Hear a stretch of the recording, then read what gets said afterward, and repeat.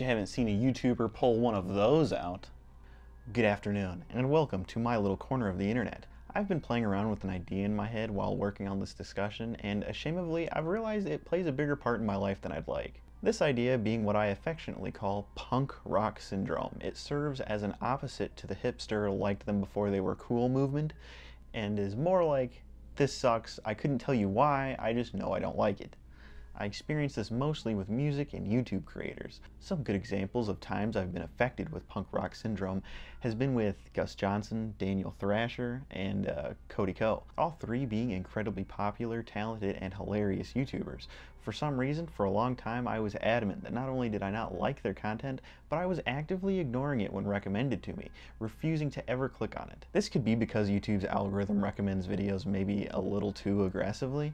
I'm currently experiencing this with uh, Joseph Anderson's videos, which I love and I've watched all of, but YouTube. I've already seen this hour and a half video you are autoplaying. Stop it, dude. Let me go back to my two clicks up.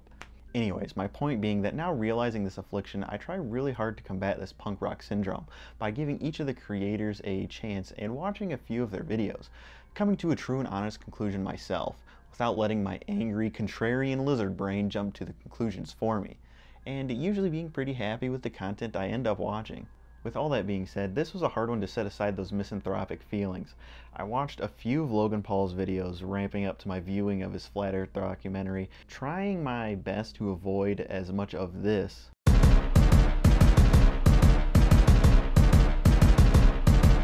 ah!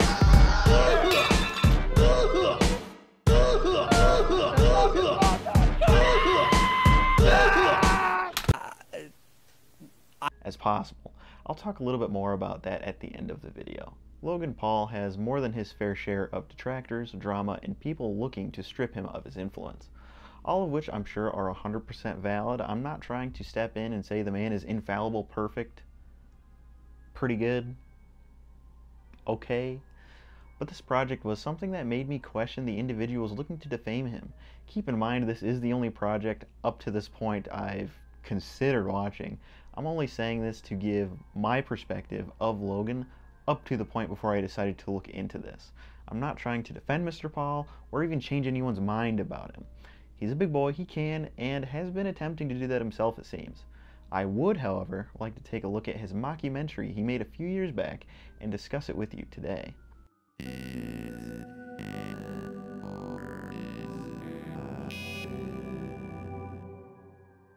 The mockumentary starts out, and make no mistake, it is a mockumentary, showing some of today's more ridiculous conspiracy theories and insinuating these can be pushed aside whilst the flat earth theory should be taken a little bit more seriously. The title card pans out to a CG flat earth and zooms in on the Paul house.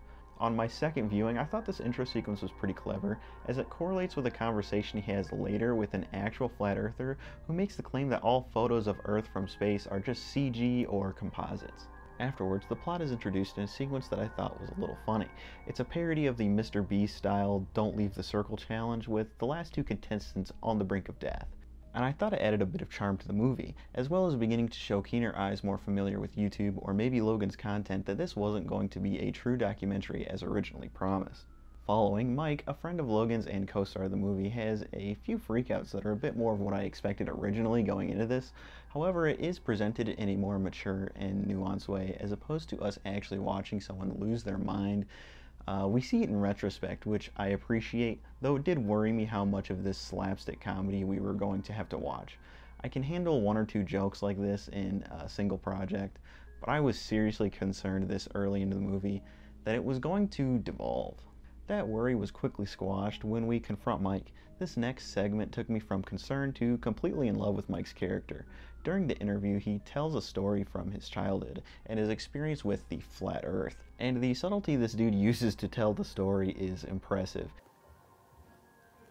I ate the rest of the peanut butter. I'm, so, I'm sorry, bro. I'll buy more of it. If you hate Logan Paul, if you hate his channel, if you hate his fans, or whatever, please do me a favor and watch this video at least up to the 10 minute and 30 some second mark uh, where the interview ends and tell me what you think.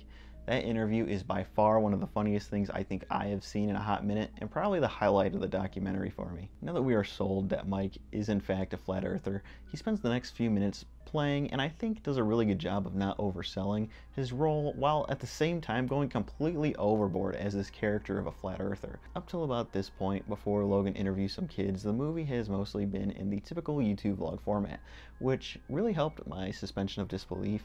I was sure that, though ridiculous, Logan probably hangs around some weirdos that could possibly believe that the Earth is flat, and is being seriously convinced while at the same time trying to act funny for vlogs. But this is where that ended, and I knew beyond a shadow of a doubt that I was witnessing something intended for comedy, and I was all in. And I was very excited to see how far they were going to go with it. Also, I really loved. The child had a good point. This was slowly becoming a puzzle that not even I, the all knowing and error free Logan Paul, could solve. Come on, I don't gotta tell anybody why that's funny. That's funny. And let me tell you, dude, they go all the way. Literally, all the way to a flat earth convention hosted by Robbie Davidson, undercover, making a mockumentary. What reality did I slip into? During the speeches, we clued into how Logan actually feels about the situation, while Mike sticks to his character chanting the sweet nothings the two presenters we see spew out of their mouths. And afterwards, Logan does some interviews with conference goers, and he really takes the piss out of them. I'm surprised no one at the conference thought he was up to no good and blew his cover, because he's being a bit blatant, I feel, which of course is hilarious. During this, Logan talks to a veteran who touches on briefly that they launched and tested ICBMs, which I thought was pretty funny to come up not because of the historically low mental health our military can leave our veterans in and possibly make them susceptible to ridiculous communities like these. Editing Jazz here. In this bit of the video, I was using the missile ICBM point to talk about flight paths, and how that's often a point the Flat Earthers will use to prove that the Flat Earth model is at least feasible, which, spoiler alert, it's not, but after watching Hbomberguy's video again, I realize he does the argument a bit more justice. The longer I thought about it, the more I realized that leaving a poorly articulated version of that argument in my video would just lead to miscommunications and confusion. So please, just watch this video for an actually researched argument about this topic. Link in the description, it starts at 1448. But I'll leave uh, some links in the description of uh, reputable sources showing that the flat earth model is not only impossible to prove, but really easy to debunk. That aside, this piece of the movie ends on an interview with Robbie Davidson, which doesn't go on for as long as I'd like. It's forgivable because I'm sure it would be hard to stay in character and ask questions that would threaten Robbie's livelihood while still getting genuine reactions out of him. I am certainly not trying to insinuate that Logan should be Sacha Baron Cohen here, but I would have liked to see this interview go a little bit more in depth than it did. This also starts the love arc that uh, sends Logan over the edge. and he begins to believe in the flat earth theory as he falls for the Australian girl he meets at the convention. This is where I think the momentum starts to shift a little. Uh, the love arc of the story begins at like the last third of the video, and it leads to probably the most disappointing part of the documentary. Uh, before that, though, I really enjoyed the next scene in the hotel room. Evan Eckenrode has been the voice of reason this entire time, and his frustration here as Logan is starting to actually turn is on point, as the kids would say. I'm going to skim over most of the actual acting scenes. They aren't awful, but like this script, they are poorly written. Hey, I have been granted immunity because I addressed my bad writing. Logan has a pretty funny scene where he says the girl he met yesterday is rubbing off on him while doing a really bad, like, half Australian accent. And there is a song and dance which is funny, and again, I think does a good job of poking fun at the Flat Earth community while not making itself too goofy. You know, right amount of goof here. We then are told that Logan is giving a speech at the conference, which I think most people saw during the time leading up to the documentary's release, but we will go over just because in the context of the documentary, it is a golden moment. Robbie introduces him and he gives a short speech about how he attempts to not be ignorant and comes out of the flat earth closet. And you know Robbie was foaming at the mouth when he saw Logan Paul's name on the registration. A big name is often a shortcut to legitimize a silly movement like this, and I don't think a real celebrity or big name has tried to attach themselves to Flat Earth since B.O.B. fell off the face of the planet. After the speech, uh, Logan and his team congratulate and thank each other, and Mike pulls him aside and reveals the truth, telling Logan that he is in fact not a flat earther, and that the original statements that launched the escapade were just a joke. This is a strange place to take it, I think. Um, I'm trying to think of how they could have written out of how deep they got into this, and it's a little difficult, so I'm going to have to chalk it up to writer's block, but it still feels really weird. Like, the whole thing is weird, right? It's a goofy mockumentary. But there had to have been a more natural way out than Mike just got carried away with a joke and then just really wanted to go to Denver, right? Logan enters a Walter White fugue state, which I'm sure most everyone saw reported on as well, which I think I can understand a little bit more now that I think about it. Logan Paul naked in Denver streets is a pretty tough title to turn down, though I do think Logan did, a bit, did get a bit of retribution on this one, and I'd say well deserved. There's a quick debrief outro where they give a quick last interview to Logan, Casey, the Australian girl, and Mike where they make a few last minute jokes and the credits roll. There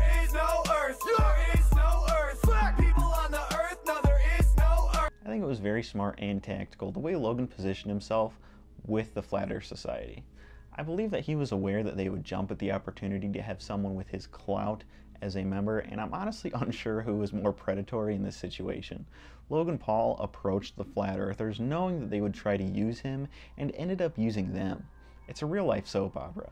The acting or writing wasn't fantastic, but I would say on par with the video free to watch on YouTube and was true to what it wanted to present.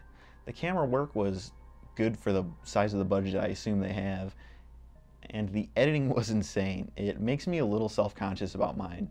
And the subject matter and theme could not have been better. I really enjoyed this mockumentary, and it surpassed all expectations I had of the Logan Paul video.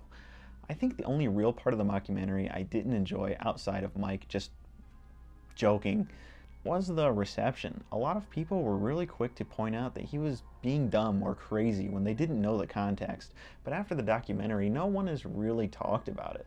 I have, like most topics I discuss, watched a few reviews just to make sure I'm not completely off base. All of them were great, links in the description for these guys. And the biggest video I could find was by this YouTuber, as you little fucker he is.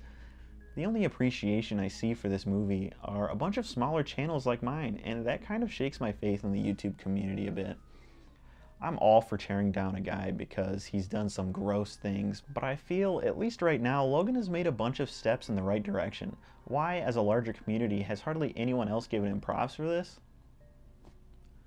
I don't know. Like I said at the start, I watched a few more of Logan's videos just because I wanted a frame of reference for the mockumentary, and I found a few I enjoy. He has a follow-up behind the scenes of the mockumentary video I recommend, though it does contain a bit more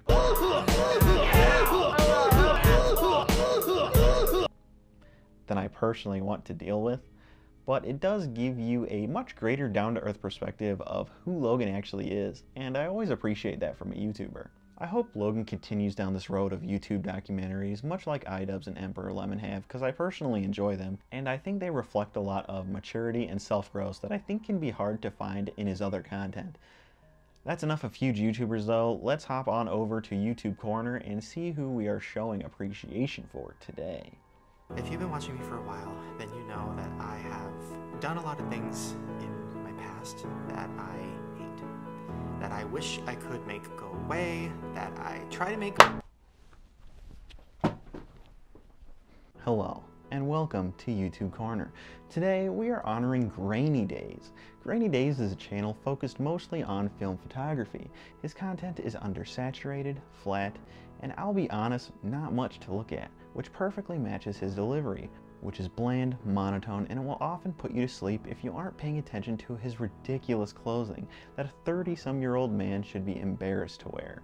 In all seriousness, his videos are presented in a dry and flat way, which contrasts so perfectly with the sass and sarcasm he drenches every second of screen time with. I'm hoping the monotone delivery of lines like I saw a bear last weekend. Holy will never get old, and I don't want to exist where his style is not appreciated. My favorite videos of his are his interview series he has, Bring It Back, where he triples down on the sarcasm, and his travel photography vlogs. He operates in a pretty small niche. I think he is excelling for his content being almost solely about film photography, but as a creator, I still feel his content is not being appreciated as much as it really should be. that will conclude this episode of Art Discussion. There will probably be another coming soon, um, another modular synth video, another random filler video, and then hopefully a new series. It's taking a long time, but hopefully you guys will like it. Thank you so much for watching, and I'll see you later.